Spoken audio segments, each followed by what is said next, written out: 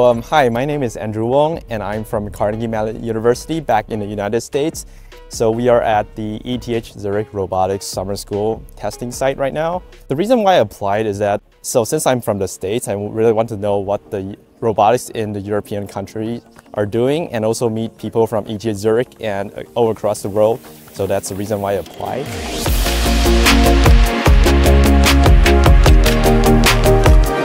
It's super cool that we go from state estimation to SLAM, object, object detection, and really everything that you can uh, get in contact with when you're in the robotics field.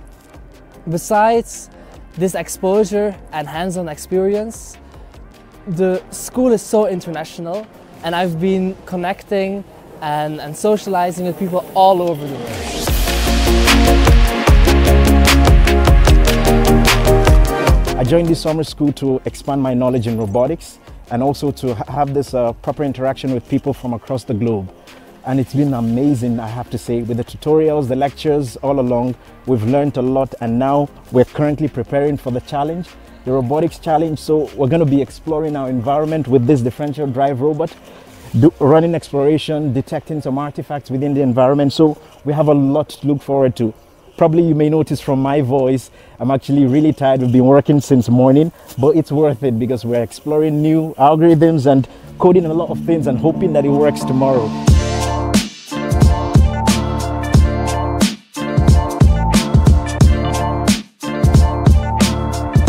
Why did I want to come here? Uh, I would say main reason is that my background is really theoretical and I really needed something practical and this is perfect because we actually have a really big robot going around and doing rescue things. It really seems like I'm doing something useful and that's what I, I enjoy the most.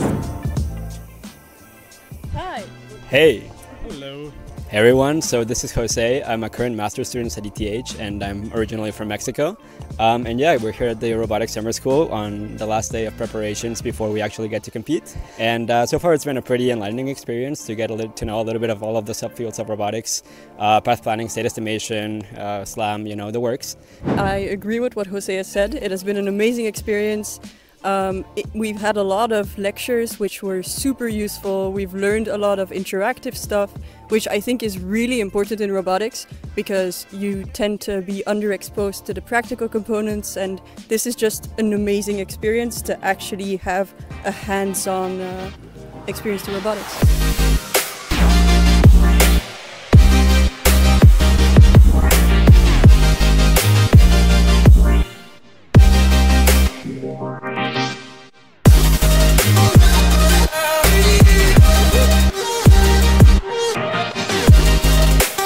Uh, of course, the, the campament is challenging. You will um, know many people, and yeah, it's a good opportunity to have contacts, uh, interact with people from ETH.